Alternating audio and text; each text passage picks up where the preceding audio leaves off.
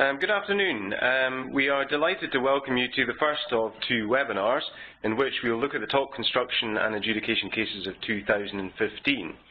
And this first webinar today will focus on the top five construction cases of 2015. In today's webinar, we will be highlighting the key facts and legal points of each case, identifying specific lessons to be aware of for construction contracts and claims. The second webinar on Tuesday, 3rd of February, will focus on the top five adjudication cases of 2015. And both of these webinars will be recorded and will be available on our Vimeo site, and details of how to access, access this site will be given later on. Just before we begin, to minimise background noise, I have placed you all on mute. If you would like to ask any questions, Please do so using the webinar chat function and we will answer some of these at the end of the webinar. I am Iain Drummond, a partner in the Construction and Special Projects team of Shepherd and Wedderburn, specialising in construction and engineering dispute resolution based in Edinburgh, and I'm joined today by Nathaniel, a solicitor in my team and a chartered civil engineer by professional background. Both Nathaniel and I regularly advise on construction contract issues and disputes across a range of projects and clients. And the cases that we are highlighting today are ones which we think will have a direct impact on many construction contracts, situations and disputes um, in the next few years. Thanks, Iain. So we will look today at the top five construction cases of last year, and for each we will provide an outline of the factual scenario, along with an analysis of the key facts and legal points from the case, whilst drawing out some lessons that can be learned and which we hope can be considered and applied in your future contracts and claims. The cases we are going to look at today are Cavendish Square Holdings against Talal El Makdisi and Parking Eye Limited against Beavis, which were two appeals heard simultaneously before the Supreme Court and reviewed the principles underlying the law of contractual penalty clauses. Then Højgaard against E.ON Climate and Renewables UK Robin Rigg East Limited is a complex but important appeal case which considered fitness for purpose warranties, design liability and reliance on employer-specified defective design guidance. We discussed the first instance decision in last year's webinar, but the Court of Appeal has reversed that decision. Then SSE Generation against Hochtief Solutions, which examines the mechanics and impact of contractors' all-risk insurance policies held in joint names in relation to claims brought by either party. Then Scottish Power UK plc against BP Exploration Operating Co which provides some insight into the limitation and exclusion, exclusion clauses as well as contractual interpretation. And finally, NH International Caribbean Limited against National Insurance Property Development Company, which considers notice provisions in contracts and their strict enforcement, and this case really reinforces a judicial trend which is applicable in Scotland. So this year we have cases from a range of jurisdictions and appeal levels, a Supreme Court decision, a Privy Council decision on a Caribbean dispute, an English appeal, and one English and one Scottish first instance decision. Much of our contract law is common across these jurisdictions, and the English courts naturally have a large number of disputes and appeals than we have here in Scotland. So key lessons and the likely future approach of the Scottish courts can still be learned from all of these cases. So we will begin with this joint appeal to the Supreme Court in the cases of Cavendish Square Holdings against Talal El Makdisi and Parking Eye Limited against Beavis. Although the background facts of both cases are markedly different, the Supreme Court considered that the legal questions at issue here, namely penalty clauses, should be addressed in a joint judgment. So the first case concerns the sale of a large marketing company in the Middle East by the founder and owner El Makdisi to Cavendish Square Holdings. Restrictive covenants were put in place in the sale contract, preventing El Makdisi from undertaking competitive work. It was admitted that these covenants had been breached by El Makdisi, and so the dispute centred on two contractual provisions which applied to breaches of the restrictive covenants.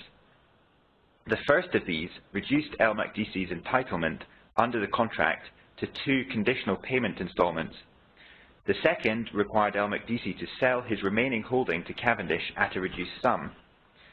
The effect of these contractual provisions was that El would receive $44 million less from the sale. And the Court of Appeal had earlier decided that these two contract provisions were in fact penalties and were thus unenforceable. The second case is a bit more straightforward and was brought by Mr Beavis, who was challenging an £85 fine levied by the operator of a car park, who was not the car park owner, because Mr Beavis had stayed longer than the two-hour free period. The Court of Appeal in this case had decided that the £85 fine was not extravagant and unconscionable and therefore was not a penalty. The Supreme Court took the opportunity to fully review the rule on penalties, noting it was the first time in a century that such a full review had been undertaken. The classic authority for penalty clauses remains the speech of Lord Dunedin in Dunlop Pneumatic Tyre Company Limited against New Garage and Motor Company Limited, where Lord Dunedin set out a series of propositions on the distinction between liquidated damages and penalties. These propositions have been consistently referred to and relied upon by the court since then and can be summarised as follows. The court must seek to determine whether the sum in question is in truth a penalty, but the use of words like liquidated damages and, or penalty in the contract itself is largely irrelevant. A penalty is a sum designed to threaten the offending party to prevent breach, whereas true liquidated damages should be a genuine pre-estimate of the, of the damage to compensate the innocent party for its likely loss. An extravagant and unconscionable sum is a likely pointer to the sum being a penalty, but the difficulty or impossibility of making a precise pre-estimate is no obstacle to that pre-estimate being considered an acceptable liquidated damage.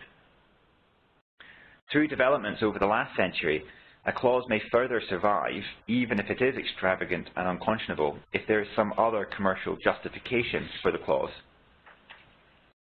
The Supreme Court noted that whilst the penalty rule, in their words, is an ancient, haphazardly constructed edifice which has not weathered well, and indeed they said that it would be unlikely to be created by the courts now, that it nevertheless serves as a useful purpose which had not been wholly diminished by consumer protection legislation.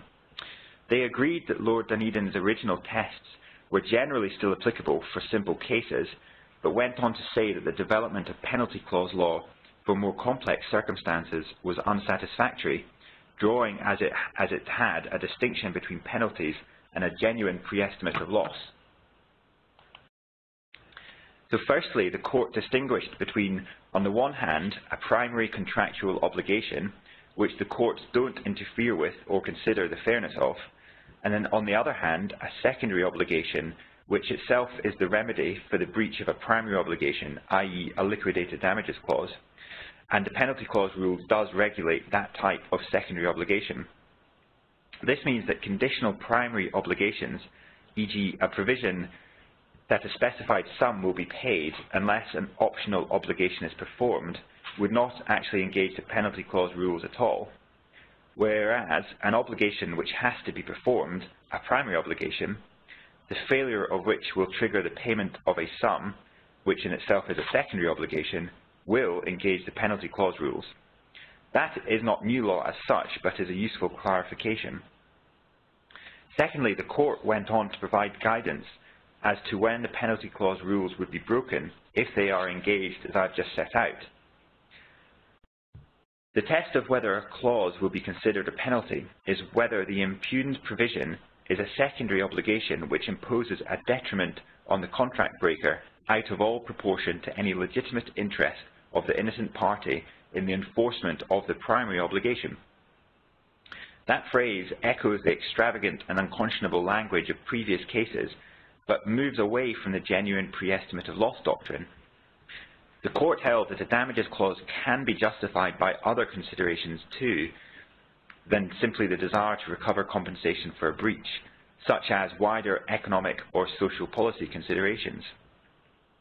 So in the two cases, it was decided that the clauses in the Makdisi case were properly to be construed as conditional primary obligations and therefore did not engage the penalty clause rule at all. The court was unwilling to consider the reasonableness of the bargain and so did not strike the clauses down. In the Parking Eye case, however, the penalty clause rules were engaged, but the £85 fine was not out of all proportion to the legitimate social and economic interest which the car park operator had in preventing long stays in the car park and collecting sufficient revenues to adequately pay for the monitoring of the car park. So these cases provide us with um, some guidance as to the steps required to consider any potential offending clause. Firstly, you must consider whether the clause even engages the penalty clause rule. Is it a conditional primary obligation or a secondary obligation for the breach of a primary obligation? Secondly, if it does engage the penalty clause rules, is the sum a genuine pre-estimate of loss? If so, the penalty clause rules are satisfied even at that stage. But if it is not a genuine pre-estimate of loss, then the consideration is whether or not it is out of all proportion to the interest of enforcement of the primary obligation. And, is it, and if it is, and there is no other consideration to justify such a sum, then it would be struck down as a penalty. Our next case is MT Højgaard against E.ON Climate and Renewables. This is an appeal in a hugely significant case regarding design li liability and reliance on design standards. The first instance decision was one of our top five construction cases last year, and which we discussed in our webinar last year. MT Højgaard were the appointed contractor for the design, fabrication and installation of the turbine foundations for the Robin Rigg offshore wind farm project, which was a 60 turbine, 180 megawatt array in the Solway Firth. The foundations consisted of a monopile, monopole sorry, driven into the seabed, followed by a transition piece into which the traditional wind turbine tower is placed and held. Now, the contract required Højgaard to exercise reasonable skill and care in the design of the foundations, but Højgaard also warranted that the design, fabrication and construction of the foundations would be fit for purpose for 20 years. The contract also specified that Højgaard were to use an internationally recognized design standard for the design of offshore wind turbine foundations, known as DNV OS J101. So the foundations were duly designed and installed, but shortly after completion, it was established within the industry that that design standard, namely DNV OSJ 101, it contained a fundamental formula calculation error, which would result in underperformance of foundations, causing movement, which would significantly reduce the design life. And sure enough, the Robin Rigg foundations did start to show signs of such movement, and that led to a requirement to spend 27 million, uh, million euros worth of remedial works in order to, to rectify that situation. So the question in that case was who carried the responsibility um, for that situation? Now, at first instance, the judge decided that if the employer specifies a design standard, and the standard of care of the party using that design standard is reasonable skill and care, with no warranties as to design life, then in that situation, the employer will carry the responsibility and liability for any errors in the underlying design standard. Now that is unless the error in that standard is so obvious that, exercising reasonable skill and care, the designer should have spotted it, which is an objective test. But if there is, in addition to that, a warranty as to the fitness for purpose and the 20-year service life, which are absolute obligations, then the court at first instance decided that that trumps the specification of the design standard by the employer and so the contractor, in agreeing to that fitness for purpose warranty, takes on all risks, which includes the risk of defective design guidance, however trustworthy and whether specified for use by the employer or not. The appeal, the appeal rather, of that first instance decision was specific to the facts of the case and the court, in fact, decided that the contract did not contain an absolute warranty for a 20-year service life, but was rather subject to a 20-year design life, which is what had been designed using the defective guidance. The court distinguished between service life and design life and noted that a majority of the references in the contract to 20 years were design life references, and in addition, The defective guidance um, that was um, the subject of the case um, also specified a 20-year design life rather than a 20-year service life. Accordingly, as there was no absolute warranty from the contractor, contrary to what the court at first instance held, the employer therefore carried the risk for the defective design guidance that they had specified. This appeal decision does not reduce the logic of the first instance decision, which is that if a contract contains an absolute warranty, then a contractor could be liable for failing to achieve a specific result, even if it had otherwise complied with a specific design guidance. However, for such a circumstance to arise, the absolute warranty would have to be worded with sufficient clarity and to be consistent with the rest of the contractual provisions surrounding the design. So the lesson from the first instance decision was that designers and contractors need to be alive to the standards which they are agreeing to, particularly if they are absolute standards or are formed in a warranty.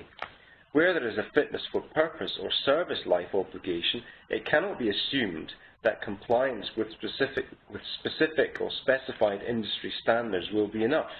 Simply put, don't accept absolute obligations without considering the risks.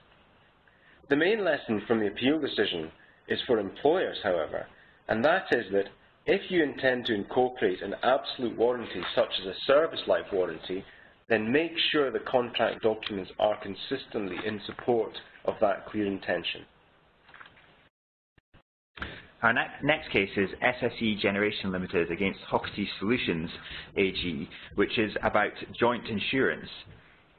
SSE had contracted with Hochtief to design and build a new hydroelectric scheme at Glendoe in Scotland, which included the creation of a major headrace tunnel through rock. The contract between the parties required the contractor to take out a joint names insurance policy to cover all contractor risk events. The contract also included an indemnity provision and a cap on total liability between the parties.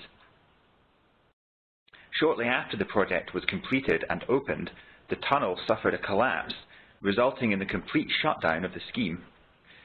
Hochtief firstly denied that they were responsible or bore the risk of the collapse, and so SSE had to employ a third party to undertake remedial works, claiming over £100 million in damages. But Hochtief secondly and further argued that the joint insurance policy took the place of any liability between the parties so that SSE should have been making a claim under that insurance policy rather than pursuing Hochtief. This position was made on two grounds. Firstly, that where there is a joint names policy, parties can exclude claims against each other for losses covered by that policy. And secondly, that because the joint names insurance policy expressly waived subrogation rights, which would normally enable the insurer to step into the shoes of the innocent party to pursue the party who caused the loss, that that showed that the parties intended that they should not be able to make a claim against each other, even through the insurer, for the losses the insurance policy covered. SSE, however, disagreed with this analysis and contended that the contractual provisions and the insurance provisions should be kept separate and that looking at only the contractual provisions, they did not exclude claims for losses which were covered under the joint names insurance policy. The judge agreed with SSE uh, and stated that there is no irrebuttable presumption that the parties have no liability to one another simply because a joint names insurance policy is in place. And he also found that there was no express term in the contract addressing the issue, and the inclusion of some other contractual terms, such as the indemnity provision and the cap on total liability, which would only be relevant if the parties could make claims against each other, suggested the parties did not intend for liability to, to be displaced by the joint insurance policy. This is an interesting case on, on a discrete point about joint insurance, the simple lesson to be taken from this case is that it is important that parties consider the purpose and impact of any required joint names insurance up front and then set out in their contract, rather than in the insurance documents only, whether the contract takes a place, whether the insurance policy takes the place of any contractual liability, or whether the two can coexist. Now our next case is Scottish Power UK plc against BP Exploration Operating Company Limited. There are a number of important aspects which have been drawn out of this case, but we will focus on the limitation and exclusion clause, clauses and um, also the aspects of contractual interpretation which surround these. SP had contracted with BP to purchase natural gas produced from the Andrew oil and gas field in the North Sea, which BP and others had the right to exploit. Now, the, the contractual arrangement was a take-or-pay arrangement whereby SP agreed to pay for a spe specified quantity of gas each year, even if it took delivery of less gas than the specified amount. However, from 2011 to 2014, the Andrew field was closed down in order to tie the field into another oil and gas field being developed. And so during that period, no gas was delivered to SP by BP under the contract. BP admitted that the failure to deliver gas during this period was a breach of the parties' contract, but there was a dispute as to the measure of the damages applicable to that breach. BP argued that the consequences of non-delivery were exclusively provided for in the contract between the parties by a compensation mechanism which required BP to provide gas at a reduced price to SP once deliveries resumed. This, was, this argument was made on the basis of Article 16 of the contract, which said that the delivery of gas at the reduced price shall be in full satisfaction and discharge of all rights, remedies and claims, howsoever arising, whether in contract or in tort or otherwise in law, in respect of under-deliveries. BP also claimed that um, Article 4.6 separately excluded any claim for other damages, as it provided that, save as expressly provided elsewhere in this agreement, neither party shall be liable to the other party for any loss of use, profits, contracts, production or revenue, or for business interruption, howsoever caused, and even where the same is caused by the negligence or breach of duty of the other party. SP argued that they had an entitlement to damages at common law, i.e. out with the contract, and that, that those damages would be measured as the additional cost to SP of buying replacement gas from elsewhere during the period of non-delivery. SP argued that Article 16 did not apply for a wider breach of contract situation, and that was relevant because BP had not simply under-delivered, but actually had failed to comply with the standard of a reasonable and prudent operator when they decided to close down the Andrew field for the tie-in.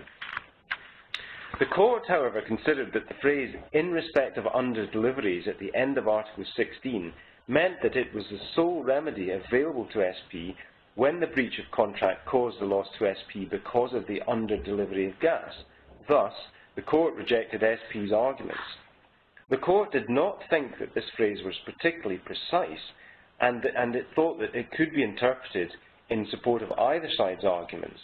But the court considered the commercial purpose of the article and decided that it would be an improbable intention of the parties to create an automatic compensation arrangement for under-delivery and still leave open the option for SP to pursue claims by another remedy. In other words, the commercial intention of the article must have been to create an exclusive remedy, the court said, and it considered that the non-supply during the shutdown period, even though caused by BP's decision to shut down the field, was an under-delivery under the contract, and accordingly, the exclusive remedy under Article 16 applied. The court did offer something of an olive branch to SP in their separate interpretation of Article 4.6, however, because the court set out three types of loss. Firstly, normal and basic loss caused by breach of contract. Next, secondary losses which go beyond the usual or normal measure. And third, more remote losses which can arise in special circumstances known to the party. The court decided that Article 4.6 was not intended to exclude liability for all these heads of loss caused by the other party's breach, but rather was limited to secondary and more remote losses. So, the additional cost to SP of buying replacement gas from elsewhere during the period of non-delivery, the court said, was not a secondary loss or a remote loss and therefore would not have been limited by this clause.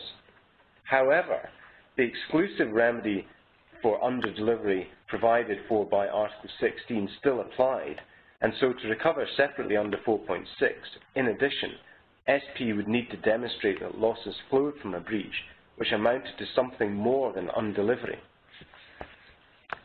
Now, the, the, um, the outcome of this case is not new law, but it is a useful reminder of the range of interpretations often available to the courts when considering contractual limitation clauses, and therefore the importance of considering how best to provide um, such contractual limitations.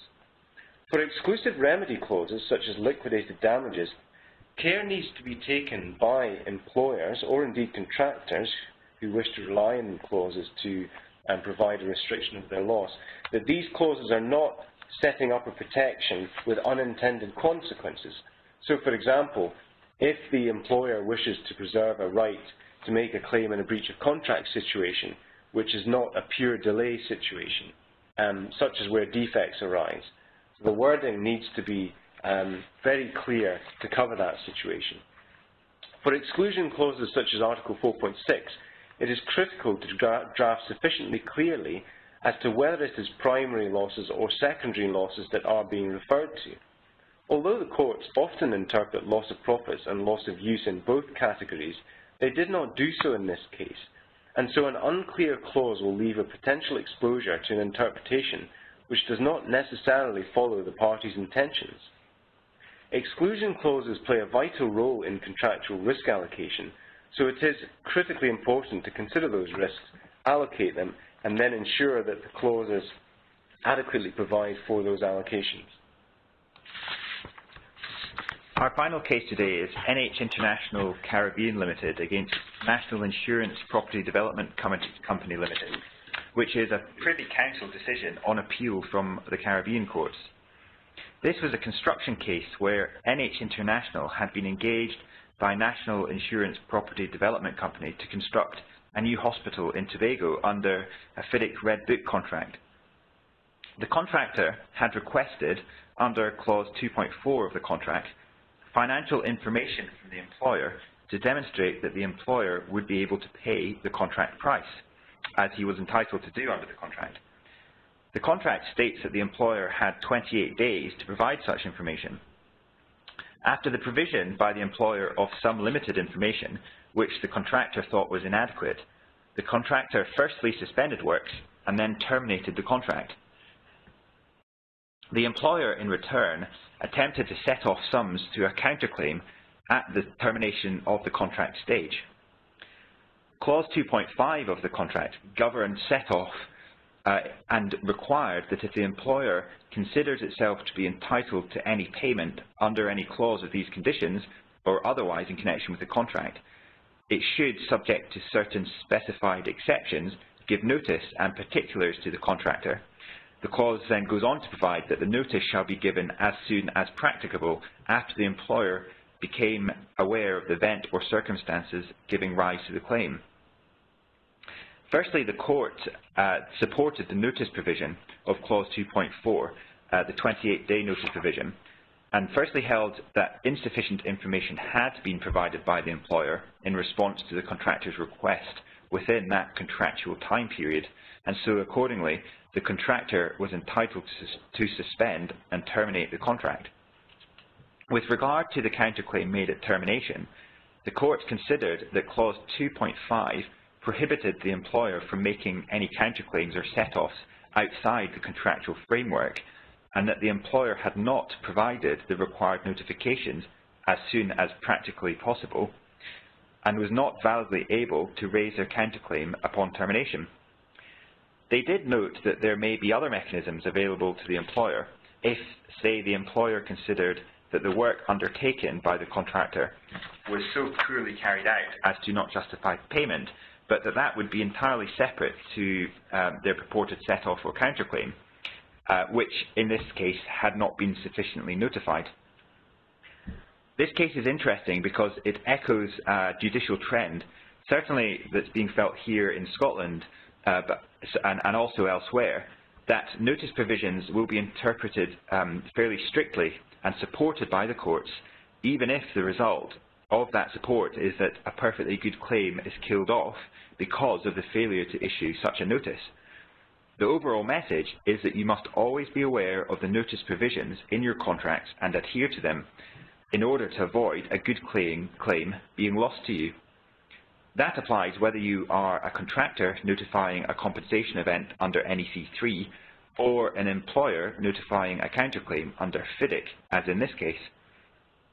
The more direct implication in, of this case is with regard to the employer's position uh, when they're using the FIDIC Red Book contract, who an employer should mitigate against uh, these types of risks when setting up their contracts and should consider deleting or at least amending these the clauses which may otherwise restrict their own claims through a project.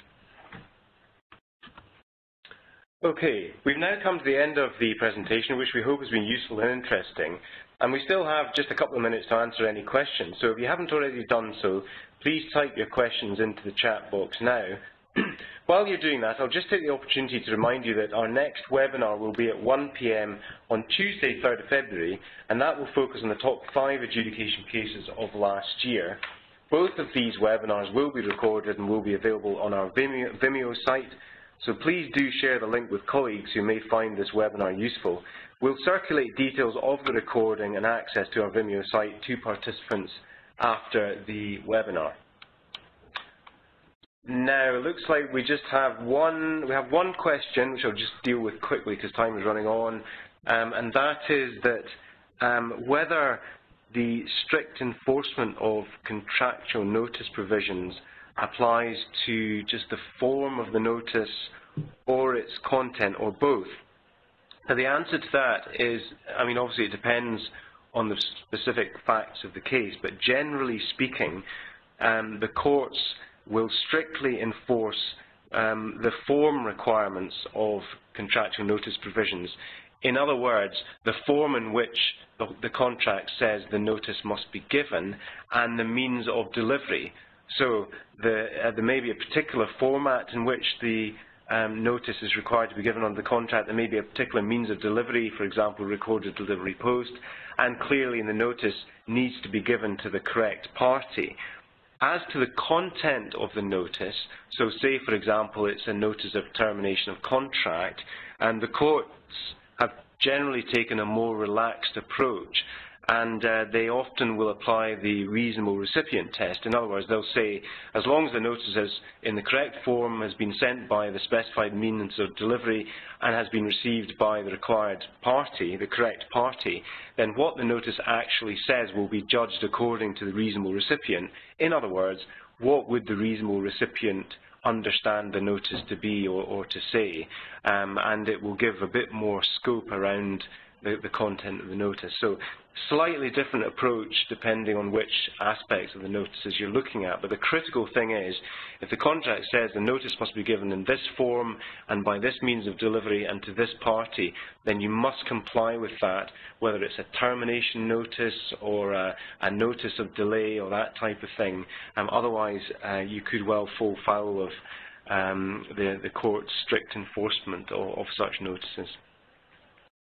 Okay, so I think that's, um, that's it, and our time is up. So thanks very much indeed for listening to us. We hope you found this webinar informative and useful, and we look forward to welcoming you to future webinars. Thank you very much.